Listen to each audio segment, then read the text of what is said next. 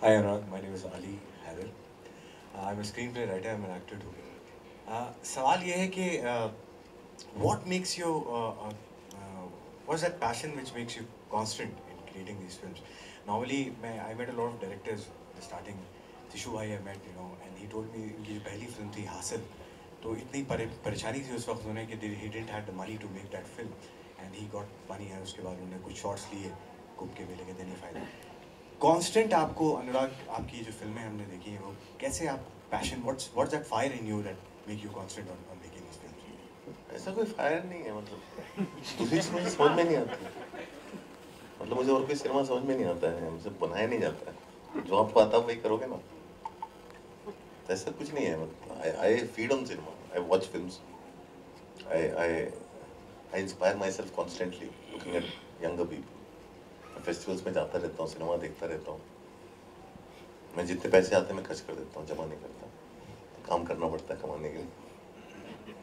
ये सारी चीज़ें, बहुत सारी चीज़ें I don't know I think वो है बस, वो होता है या नहीं होता है। ऐसा कुछ नहीं कि मैं ज़बरदस्ती कुछ करता हूँ। मैं जब काम करने का मन नहीं करता मैं नहीं करता Okay, hi Anurag, I'm Abhay and um, I have मतलब मैं बहुत curious हूँ इस बात से कि आप zoology background से right? So uh, मतलब zoology was it by chance, by choice या फिर बाय चॉइस by choice? हाँ वो एक्चुअली वो कुछ नहीं वो, वो थोड़ा सा चाइल्डहुड फैंटेसी था कि मैं नोबेल प्राइज जीतूं I was studying to be a scientist because I wanted to do something like that. So it was just a, then I gave up on it. इसका कोई influence आपकी film में नहीं कभी- कुछ नहीं मतलब till I think finish my third year I had no idea I will come into films. I did not discover cinema until I finished my college. Uh, hi, uh, Munami, uh, writer, aspiring filmmaker. I would like to ask you something that I'm trying to find out myself right now. Uh, the pers- the Anurag Kashyap that started his career as a writer, how that guy used to approach people who would finance your film. How do you pitch to a financer? And the difference between that person and the person who approaches financiers now. How do you pitch now? And any mistakes that you've made? No, I you- see. I, I, I do things the same way. I've been doing things the same way. Uh, very important thing that I learned was do not depend on anyone It's very important to do everything. If I don't have an assistant, I can do all my 80s job. I, I have learned every art aspect of it over a period of time. When I came into the industry, I don't know how many people here were there. I think only Richu was there. Then. I don't think anybody else knows me from that time. अरे sir आप भी हैं I don't think anybody knows me from हम लोग सब रहते थे I I loved writing and the family film industry was largely film family owned business no studios there and outsiders were not really welcome लेकिन मैंने लिखना कभी बंद नहीं किया मैं लिखता था और कहीं भी लिखता था किसी के लिए भी लिखता था फ्री में भी लिखता था मेरे को बस लिखने को चाहिए था और डेली सोप ये भी बताएँ लिखने की क्या स्पीड रहती थी हाँ मैं वो आज भी लिखता हूँ then I so probably write hundred pages a day now I can write 40 हाथ थक गया, बुढ़ा हो गया। बट उस समय में ऐसा था कि I think the reason I got so much work was daily soap शुरू हुए थे, कोई और तीन एपिसोड दिन के डिलीवर नहीं कर पाता। था I to get a lot of work ये आदमी लिख देगा। और शुरू की जो स्क्रिप्ट्स लिखी थी, कई फ़िल्में जिनमें मेरा नाम नहीं है, वो इसलिए मिलती थी क्योंकि वो सब ट्राई कर लेते थे शूटिंग के लिए तीन दिन बचते तो मेरे पास आते थे लिखते। मैं तीन दिन में लिख लिख थे। तो उस समय इसलिए काम मिलता, लेकिन पैसे नहीं मिलता। उनको ईजी इसलिए था क्योंकि उनको मालूम था ना मैं पैसे मांगूँगा, ना मैं नाम मांगूँगा। वो कुछ नहीं माँगता था। लोग दे देते थे। और मुझे मालूम हर दिन कोई एक आदमी आएगा जो है, वो एक होगा आउटसाइडर जिसको लगेगा कि इसको, इसका राइटफुल क्रेडिट मिलना चाहिए। मुझे पहला क्रेडिट मिला था हंसल मेहता ने, जयते में दिया था और राम गोपाल वर्मा ने सत्या में दिया था। और उस समय जो है उसके पहले मैंने बहुत सारा काम किया हुआ मैंने इतनी सारी फ़िल्म इंडस्ट्री शायद इसलिए जानती कि कई सारे ब्लॉकबस्टर्स मैंने लिखे हैं जिनमें मेरा नाम नहीं है। मैं कभी नाम लूँगा भी नहीं और कभी किसी इंटरव्यू में बोलूँगा भी नहीं। लेकिन लोगों को मालूम है जिनके लिए मैंने किया। और कई बार 90 परसेंट फ़िल्में तो कॉपी ही होती थी उस समय। मुझे अपना नाम उसमें डालना भी नहीं अच्छा लगता था। तो it it help me both ways और then I decided one point because I got so conscious of it that most of the films are copying कि मैं भले लिखूं I just only take dialogue credits I stop taking story script credits very ashamed of taking that film so ऐसे लिखते रहे कुछ ना कुछ काम होता रहता था। कोई काम छोटा बड़ा नहीं होता और पिचिंग के लिए था कि very first lesson I learn was nobody knows any जब आप किसी को उसमें स्क्रिप्ट या कुछ सुना रहे होते तो बेसिकली देख रहे होते हैं कि आप उसमें कितना फेथ रखते हो। दे जज a film based on your confidence and that confidence can't be faked if you're really confident about something it will come through and most people fake it they they end up being overconfident तो आप किसी चीज़ में believe करते हो दिखता है वो सामने वाले की आँख में दिखता है आप दो मिनट में पता कर सकते हो कि आदमी झूठ बोलता है कि नहीं बोलता है look into their eyes and that's the only thing that translates हम लोगों का ऐसा हमेशा रहा है और हमारी मेरी फ़िल्में खासतौर पे इसलिए बनती नहीं लगातार बिकॉज़ या तो लोगों को लगता था कि ये आदमी बहुत बेवकूफ़ है इसे फ़िल्म बनाना चाहता है, पैसे नहीं मांग रहा, कुछ नहीं कर रहा। या उनको लगता था बहुत शाना है। कुछ तो इसको का झोल होगा। दोनों ही केसेस मेरी फ़िल्म बन जाती थी। तो चाहे कुछ भी सोचे doesn't matter many times you have to be very clear about things हम लोग बहुत सारी चीज़ों में फंस जाते हैं। हम लोग एक फ़िल्म बना रहे थे इसका बजट था दो करोड़। और वो actually film should cost some around eight nine crore and people came and said कि your production person is stealing money from your production my logic was अगर आठ करोड़ की फ़िल्म दो करोड़ में डिलीवर कर रहे हैं, अगर उसमें उसमें पाँच लाख चुरा भी लिया तो उसका स्किल ही डिजर्व इट उसके बीच में क्यों अपनी फ़िल्म बंद करूँ और क्यों मैं परेशान हूँ? So when you take larger decisions like that I I don't want to get insecure about that मेरा काम हो गया, काम डिलीवर हो गया। So are the little things that idea was to always keep moving. The idea was not to stop. If there is a film of flop, नहीं release हुई, अगली film लिखो, बनाओ। Why I never stopped. Before my first film released, I had already made three films and already had two shelled films and had five scripts ready so when you're consistently आप दरवाजे पे आप धक्का देंगे ना दरवाजे में छेद हो ही जाता है बड़ी से बड़ी दीवार में गड्ढा हो जाता है तो आपको कंसिस्टेंट होना पड़ता है Yeah, I am Anurag Siddharth here from Bollywood Helpline. Uh, my question is, as we all know, art is no boundaries. Uh, but अभी हाल ही में जो कुछ वाक़यात चल रहे हैं पाकिस्तानी एक्टर्स को इंडस्ट्री में काम करने से रोका जा रहा है या फिर उन्हें यहाँ पे काम करने से रोका जा बतौर इंडस्ट्री से या being a director what you want take on this आपके पास कल के लिए हेडलाइन नहीं है। दिस इज़ समथिंग नहीं माइक है किसी और सवाल कोई और पूछे। अनुराग जी। आप पर्सनली क्या सोचते हैं Anurag? Is it justify enough एक लाइन में आपको जवाब दूँगा। दैट विल बी फाइन हाँ? बहुत सिंपल चीज़ है। फॉर मी आप आर्ट को आर्ट जो होती है ना, और जो आर्टिस्ट होता है, ये बहुत अच्छी चीज़ करण जौहर ने खुद कही थी कि अगर फवाद खान को आप भेजना चाहते हो वापस ठीक है, भेज दो। अगले नेक्स्ट फाइव स्टेप्स बताओ क्या करोगे? अगले पाँच स्टेप बताइए आप क्या करेंगे, कि उसके बाद आप क्या करना, क्या चाहता है? अगर उसके भेजने से क्या प्रॉब्लम सॉल्व होगी? उसके भेजने से नेक्स्ट स्टेप क्या लेने वाले हैं लोग? हमें बताएँ तो सही अगले पाँच स्टेप क्या। बट अनुराग बस अजय जी, एक है। प्लीज़ तो सर मैंने आपकी लास्ट ट्रेन तो महाकाली से लेके सब मूवी मज़ा देखी। सर मुंबई कटिंग कहाँ पे डीवीडी या यूट्यूब पे रिलीज़ होगी ये तो प्रोड्यूसर को ही मालूम होगा। वो मेरी फेवरेट शॉर्ट फ़िल्म है वो मेरे पास पड़ी है। देखते नहीं आएगा तो शायद मेरे घर से चुरा के डाल दे। हैं अनुराग जी ये म्यूज़िक को आप कितनी इंपॉर्टेंस देते हैं? वो फ़िल्म कहाँ से आप कहाँ से बोल रहे हैं? इधर आप। आपके सामने राइट सर थोड़ा नाम हम बता रविंदर सिंह मीडिया से बोल रहा हूँ मैं। सर म्यूज़िक मेरे लिए बहुत इम्पोर्टेंट है। म्यूज़िक को लेके मेरे दिमाग में बहुत सारे बहुत सालों तक प्रॉब्लम थी। क्योंकि अक्सर मैं जैसी फ़िल्में बनाता था यहाँ पे बोला जाता था कि यार तुम बहुत ज़्यादा यूरोपियन हो। हाँ बहुत बाहर से इन्फ्लुएंस्ड हो। हिंदी फ़िल्में नहीं बनाते बाहर जाता था लोग बोलते थे बहुत बॉलीवुड हो गाने होते तुम्हारे पीछे। तो कई सालों तक तो मेरे को ये नहीं था कि मैं हूँ कहाँ। और फिर एक पॉइंट में आपको रियलाइज़ होता है कि यार म्यूज़िक तो सुनता हुआ बड़ा हुआ ना, बचपन से गाने म्यूज़िक हमारे ज़िंदगी का बहुत बड़ा हिस्सा रहा है। तो म्यूज़िक के बिना तो मैं फ़िल्म बना नहीं सकता हूँ। और फिर म्यूज़िक को यूज़ करके यूनिवर्सल लैंग्वेज ढूंढना भी अपने आप में एक चीज़ थी। तो कई बार तो वो रिपीटेटिव भी हो जाता है, जिस तरह से मैं म्यूज़िक यूज़ करता हूँ। एक कॉन्स्टेंट एक्सरसाइज होती है कि कैसे रिपीटेटिव ना हो। म्यूज़िक के बिना मैं तो फ़िल्म नहीं बना सकता और म्यूज़िक मेरे लिए बहुत ज़्यादा इंपॉर्टेंट है। कई चीज़ें आप, मैं म्यूज़िक में एक्सप्रेस कर पाता हूँ। जो हम लोग फ़िल्म में नहीं कर पाते म्यूज़िक कई बार मुझे हेल्प करता है वो सारी चीज़ें कहने का जो हमें हमारी कंट्री में कई चीज़ें अलाउड नहीं होती चाहे वो सेंसर हो चाहे पॉलिटिकली अलाउड नहीं हो तो म्यूज़िक के थ्रू कई बार कई चीज़ें कही जा सकती हैं।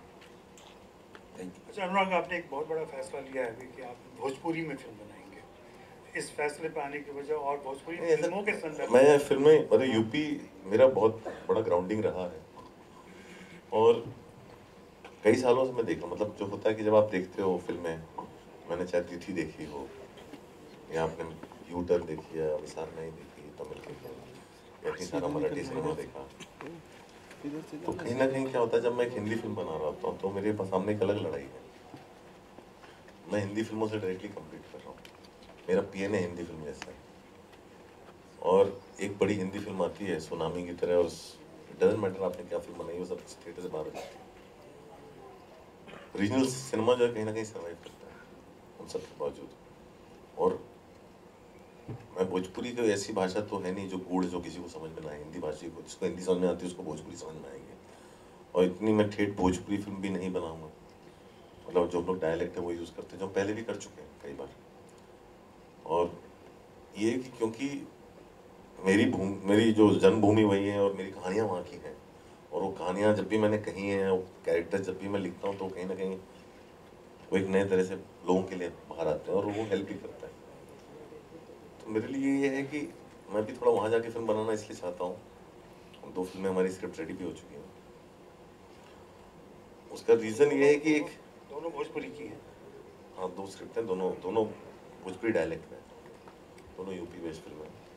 और रीज़न ये है कि, रीज़न ये है कि मैं वहाँ जाके नई चीज़ें एक्सप्लोर करना चाहता हूँ। भोजपुरी सिनेमा को जिस तरह से देखा जाता है, वो बहुत ही लोग उसको पुअर सिनेमा समझते हैं। लोग सोचते हैं कि बेमतलब का सिनेमा है। उसको भी हम लोग थोड़ा ऑल्टर करना चाहते हैं। और होप ये है कि कहीं ना कहीं वो ऑल्टर होगा तो सपोर्ट सिस्टम भी आएगा यूपी में। जब वो सपोर्ट सिस्टम भी आएगा तो हम लोग को कहीं ना कहीं एक वो बिकॉज़ हिंदी रीजन वही रह गया, हिंदी पढ़ने वाले भी वहीं रह गए यहाँ पे भी हिंदी पढ़ने वाले हैं। तो वो थोड़ा सा स्ट्रांग होगा, वो थोड़ा मज़बूत होगा।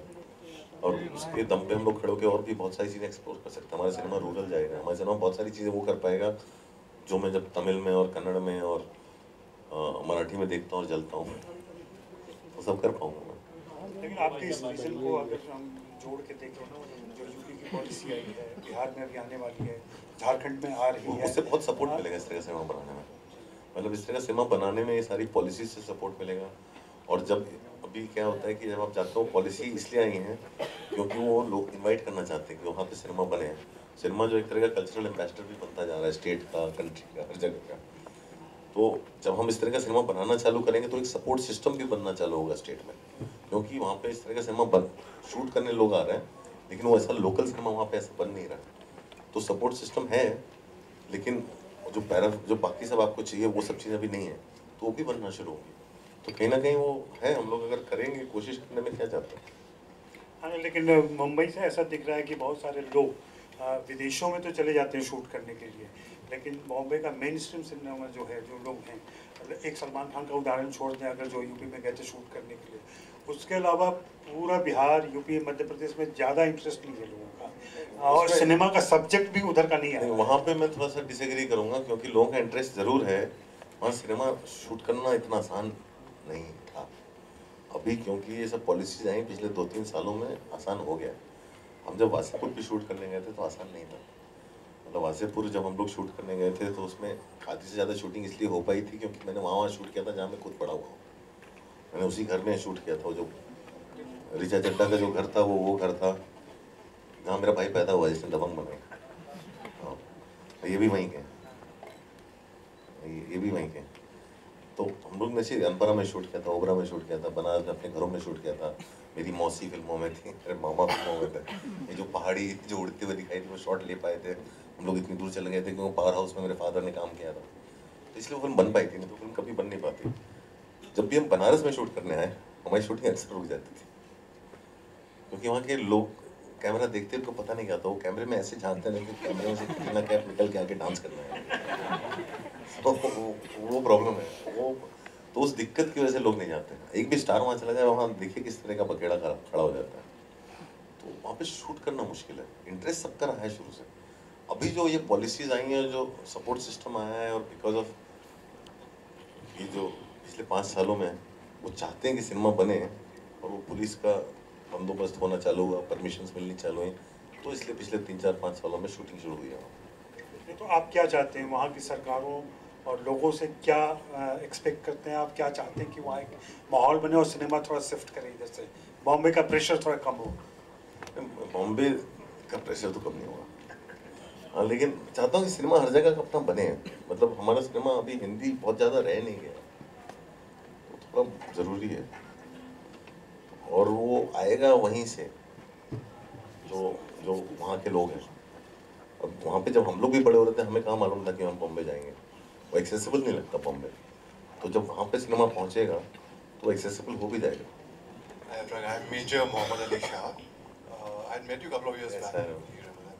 You know, I want to know when you cast for a film, there's some actors you said you don't ta- take them because they're good actors. They may not. They might be very good actors. There's some actors who are like chameleons. They can fit into any character. But that's what actors do. It's not. Right. It's not true. It's absolutely not true. Okay. I've not yet seen an actor who can fit into every character. Yeah. Uh, it, it is because you know somehow I also think many times and with no offense, I genuinely I, and I say this is a line I can say to him. I always say there are three genders: male, female, and actors. Right. Actors the third gender.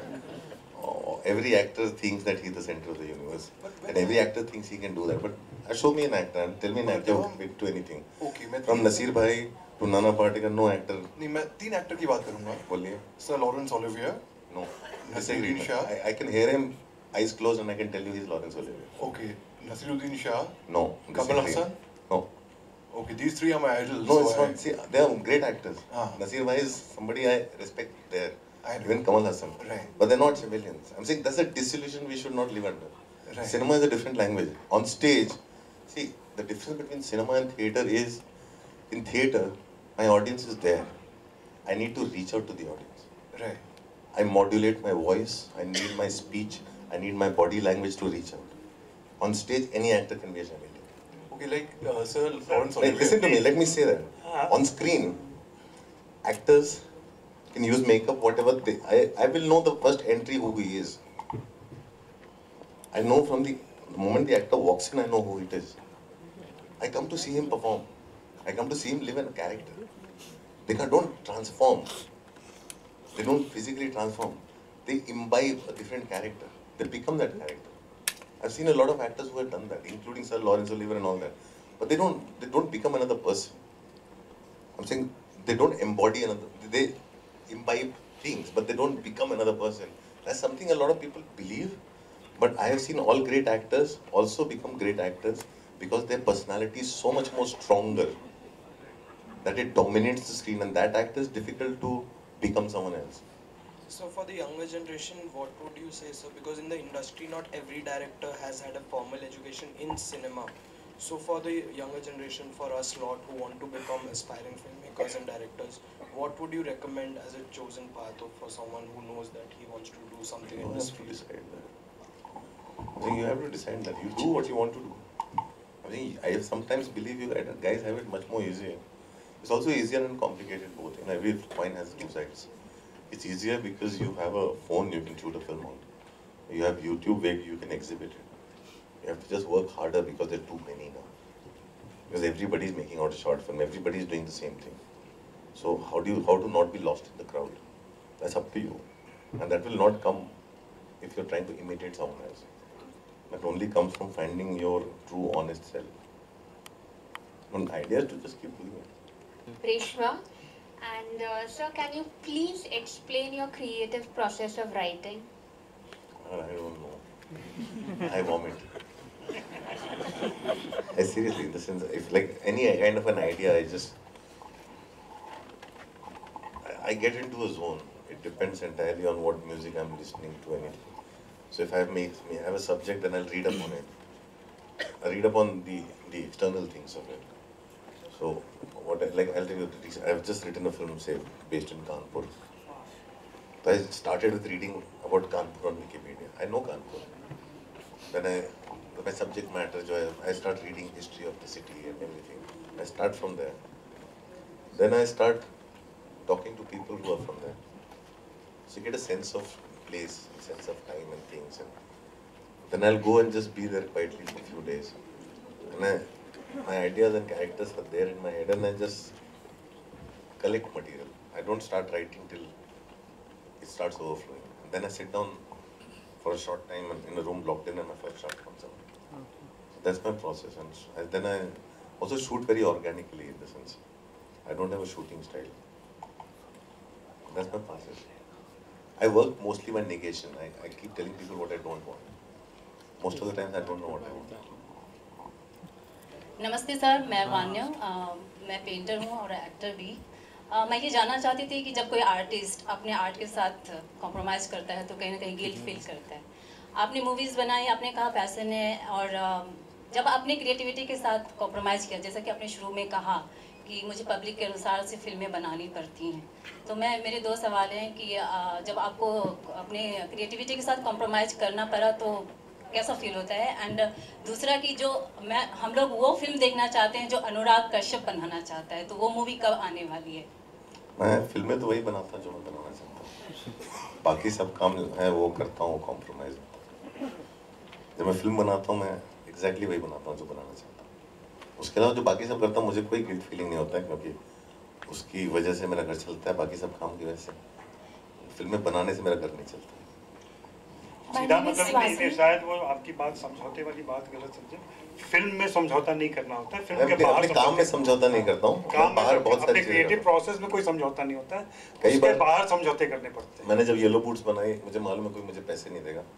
तो डेढ़ साल मैंने ad films किए बहुत सारे अलग काम के पैसे इकट्ठा किए और फ़िल्म बनाई। तो जो समझौते किए मैंने उससे वो पैसे मिले जिससे ये फ़िल्म बनी। अच्छा अनुराग एक रिक्वेस्ट करूँगा मैं सारे सवाल हम नहीं ले पाएँगे। प्लीज़ अगर ये लोग सवाल ट्वीट करें आपको तो आप उसके जवाब दे दीजिएगा जागरण फेस्टिवल के नाम से। वो मैं ट्विटर पर कभी कभी जाता हाँ, हूँ तो कभी आज चले जाइएगा एक घंटे के लिए क्योंकि अब आखिरी दो सवाल हैं. नाम बता दें। Swati. Uh, am an actor actor and aspiring writer. मेरे आपसे तीन सवाल हैं। पहला कि आपके नरेशन के लिए क्या सॉरी हम एक साथ पूछ रहे हो।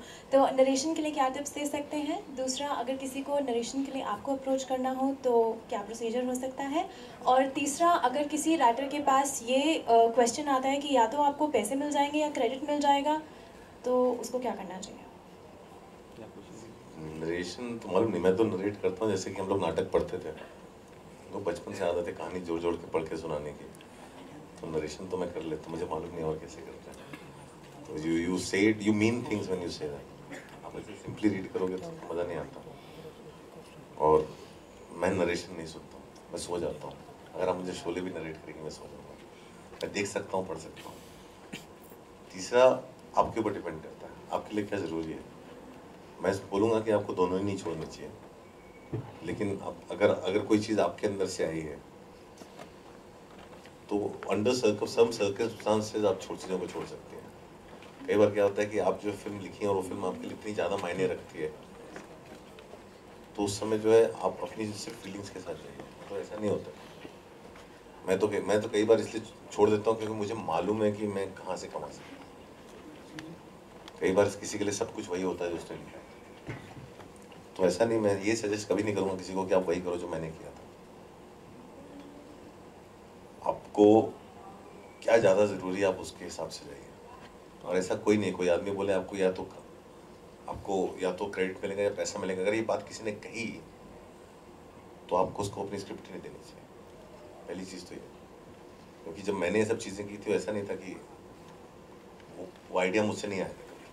हमेशा आइडिया सामने वाले का रहता था उसको सिर्फ़ एक आदमी चाहिए था जो एग्जीक्यूट कर सके। तो और वो ऐसा आइडिया था भी नहीं कि मेरे था कि मैंने किसी तरह मेरा नाम आ जाए। मेरे तो पैसे मिल जाए चलेगा और मेरे को लिखने का शौक था बस। मैं तो कुछ भी लिखता था। तो अगर कुछ चीज़ मेरे अंदर से आई है तो मैं उसको ऐसे नहीं छोड़ जाने दूँगा। एक दो सवालों में जो फेस्टिवल सर्किट में आप घूमते हैं उसका एक्सपीरियंस कैसे आपको हेल्प करता है? दूसरा इंडियन फ़िल्मों का आपने जो एक नया मार्केट बन के आ रहा है विदेशों में जैसे पास्ट यहाँ भले ही ना चली हो लेकिन फ्रांस में तीन महीने से चल रही है। स्पेन में फिर से रिलीज़ की गई मैक्सिको में फिर से रिलीज़ की गई। है जी। इनके बारे में थोड़ा सा अगर बताएँ। नहीं ये इसलिए ये मैंने शुरू इसलिए किया था क्योंकि हम लोग जब मैं हम फ़िल्में बना रहा था इंडिया में रिलीज़ नहीं हो रही थी तो डिस्ट्रीब्यूटर अक्सर ये बोलते थे कि यार तुम तुम मैं फ़िल्में कोई देखना नहीं चाहता। और मैंने जब यूनिवर्सिटीज़ में बाहर एक दो बार इनविटेशन पे फ़िल्म दिखाई या ब्लैक फ्राइडे लुकारनो गई मैंने कहा वहाँ तो ऑडियंस देख भी रही है उनको पसंद भी आ रहा है। तो मैं बोलता था आप ओवरसीज़ क्यों नहीं फ़िल्म भेजते हैं? उन्होंने कहा मैं कोई फ़िल्म देखना ही नहीं चाहता ओवरसीज़ कहाँ चलेगा तो ये बहुत समय तक चलता रहा। मैं फिर ट्रैवल करना जब शुरू किया तब मैंने रियलाइज़ किया कि हमारे डिस्ट्रीब्यूटर्स को फ़िल्म जो है नॉन डायस्पोरा या नॉन इंडियन को बेचना आता ही नहीं। वो फ़िल्म बाहर भी रिलीज़ करते तो इंडियन थिएटर में इंडियंस प्ले करते हैं वो ये नहीं बोलते कि हमको डिस्ट्रीब्यूट करना नहीं आता। वो तुमको बोलते हैं तुम्हारी पिक्चर को देखना नहीं चाहता। मैंने रियलाइज़ दैट तो मैं वो रास्ता कैसे खोलूँ? मैं नॉन इंडियन ऑडियंस ढूंढूँ इस why started travelling to festivals और कई सालों के बाद हमने बहुत ट्राई किया। वो हो ही नहीं पाता था। हमारे देवटी नो स्मोकिंग तक रोम में गई कहीं नहीं बिकी। देवटी गुलाल वेनिस में गई कहीं नहीं बिकी। फिर फाइनली एक पॉइंट पे आया उड़ान जब कहाँ गई हमें लगा था this time the film will sell Udaan को बेचने की स्ट्रैटेजी भी वैसी ही थी जैसे कि आप दिल्ली, पंजाब, यूपी, राजस्थान बेचते हैं। तो उस चक्कर में उड़ान नहीं बिकी। फिर मैंने रियलाइज़ किया कि ये सारे लोग एक्सपर्ट हैं, उनको आप कुछ भी बोलेंगे तो वो बोलेंगे, यार, हम इतने साल से काम कर रहे हैं, तुम हमें सिखा रहे हो। तो उसको कह, उसका तरीका एक ही था कि I have to make a film that I own इसलिए येलो बूट्स बनाएँगे। How do you make a film that you own पैसे तो है नहीं तो सबसे सस्ती फ़िल्म क्या बन सकती है? तो ऐसी फ़िल्म लिखी गई जो तेरह दिन में बन सके, सस्ते में बने। और वो फ़िल्म हमने क्या किया था, जाके हमने फ्री सबको बांट दी थी हमने मार्केट में बोला था, ले जाओ, जो पैसे कमाए खुद रखो, लेकिन रिलीज़ करो is the most distributed film that I have made that film वो फ़िल्म आज हर कंट्री में टीवी पे आती तो उस फ़िल्म ने मेरे लिए मार्केट खोलना शुरू किया। तो एक जब बार जब फ़िल्म हो गई तो उसके बाद क्या हुआ कि दैट्स व्हेन आई अंडरस्टूड कि बाहर की फ़िल्म कैसे बनती है। वहाँ पे टीवी वाले पहले पैसा लगाते हैं, वो फ़िल्म में प्रोड्यूसर होते हैं। फिर गुनीत मोंगा थे और रितेश बत्रा, वो दोहा फ़िल्म इंस्टीट्यूट में थे, वो सब लोग भी आए। फिर हम लोग ने जो है फ़िल्में सबमिट करना शुरू की फ़िल्म मार्केट्स में फ़िल्म बाज़ार होता है यहाँ गोवा में। फ़िल्म बाज़ार से शुरू हुआ नीना लत गुप्ता ने बहुत बड़ी हेल्प की। फिर हम लोग ने इन्वेस्टमेंट मिलना चालू हुआ, हमारी फ़िल्में में इन्वेस्टमेंट बाहर से आने लगा। तो आटे ने इन्वेस्ट किया, कभी किसी ने इन्वेस्ट किया। तो वो इन्वेस्ट करते हैं तो वो जो है फ़िल्म अपने सेटेलाइट के लिए खरीद रहे तो हमें मसान में थ्री हंड्रेड थाउज़ेंड यूरोज मिले। इस तरह से फ़िल्में बन पाती थी। ये नहीं तो ऐसे फ़िल्में कभी बन नहीं पाती। मानसून शूट आउट में पैसे मिले लंच बॉक्स में मिले। तो ये उनके इन्वेस्टमेंट है तो फिर फ़िल्मों के लिए फ्रांस फ्रेंच मार्केट खुला जर्मन मार्केट खुला। अभी जैसे रामन राघव फ्रांस में फेबररी में रिलीज़ है साइको रामन ये साउथ अमेरिका में उनतीस तारीख से रिलीज़ होना चालू हो रही, पूरा साउथ अमेरिका रिलीज़ होगा। तो उनका कॉस्ट हम लोग का इतना लो होता है। और जब ये ट्रैवल करती है तो उसके बाद जो है वहाँ सेटेलाइट पे भी आती है, वहाँ कंट्री के टीवी खरीदता है। वहाँ मार्केट ऐसे बढ़ते जाता है। वो लैंग्वेज क्योंकि यूनिवर्सल है? तो ये फेस्टिवल में ट्रैवल करने से समझ में आया। लोग क्या फेस्टिवल्स को ट्रीट करते हैं ओलंपिक्स की तरह? फेस्टिवल में चले गए अवार्ड मिल गया। तो हम लोग हर तरह की फ़िल्म एक तरह के फेस्टिवल में होती है। मेरी फ़िल्म कभी, मेरी फ़िल्म के लिए डायरेक्टर्स फोर्ट नाइट वर्क करता है। उस जॉनर फ़िल्म फेस्टिवल के लिए सबसे अच्छी जगह उनका Mecca Medina directors fortnight है। वहाँ से आप सिटीज़ जाओ। आप जो है फैंटास्टिक फ़िल्म फेस्ट जाओ, वहाँ जाओ। तो हम लोग की जर्नी एक फ़िल्म के साथ हम लोग इवेलुएट करते हैं कि ये फ़िल्म कहाँ जानी चाहिए। जैसे कि आप चिल्ड्रन फ़िल्म बना रहे हो तो सबसे अच्छी जगह आपके लिए बर्लिन है। आप बर्लिन में जनरेशन्स में जाइए। चिल्ड्रन फ़िल्म लेके आप कानो वेनिस जाओगे, फिर उसको, उसकी जर्नी गलत है पूरी। आप डॉक्यूमेंट्री बना रहे हो तो आप सनडांस जाओगे, या फिर कहीं और जाओ तो डिपेंड करता है कौन सी फ़िल्म बना रहे हो। उसके लिए आपको बैठ के बाकायदा कौन से फेस्टिवल में कैसी फ़िल्म ब्रेकआउट करती है कहाँ जाती है, सब स्टडी करना पड़ता है, जो कोई करता नहीं है। यहाँ पे लोग हवा में किसी भी फेस्टिवल में जाते हैं। तो वो, मैं समझा समझा के थक गया अभी मैं चुप हो गया हूँ। तो वो लोगों को समझ में नहीं आता, कह रहे नहीं तो फ़िल्म फेस्टिवल में जाने का रीज़न ये है कि मैं अपनी सर्वाइवल के लिए फ़िल्म फेस्टिवल में जाता हूँ। मेरी फ़िल्म जब ट्रैवल करती है, मैं नॉन स्टार कास्ट फ़िल्म के लिए मैं वासेपुर किसी को पता नहीं चलती बन रही है, अगर वो कान नहीं जाती। तो इंडिया में भी उससे पता चला बाहर भी पता चला, उसकी जर्नी अभी तक चल रही है। वो फ़िल्म अभी भी रिलीज़ होती है। लंच बॉक्स हर कंट्री में रिलीज़ हुई है। तो ये सारी चीज़ें जो है फेस्टिवल और कौन से करेक्ट फेस्टिवल से जाएँगी, तभी निकलेंगी। हम लोग मैं पहले से बैठ के वेलवेट करता हूँ इसको कहाँ भेजना चाहिए कैसे जाना चाहिए। हम बहुत सारे फ़िल्म मेकर्स के साथ हम लोग करते हैं। फेस्टिवल जाने का रीज़न वो है कोई रीज़न नहीं है। मतलब हमारा खुद का सर्वाइवल है। खुद का सर्वाइवल खुद का मार्केट एक्सपेंड करना। और उसकी वजह से बहुत काम भी आता है बाहर से। तो 2017 में हम क्या देखने जा रहे हैं? अभी हम लोग हम लोग क्या काफ़ी काम हो रहा है डेवलपमेंट हो रहा है। हम्म। तो सारी नहीं फैंटम का नहीं पूछ रहा हूँ मैं अनुराग कश्यप का पूछ रहा हूँ। मैं तो तीन फ़िल्में लिख के रखी अभी तक। देखें क्या बनती है। शुक्रिया, और धन्यवाद। आप सभी का भी शुक्रिया बहुत थैंक यू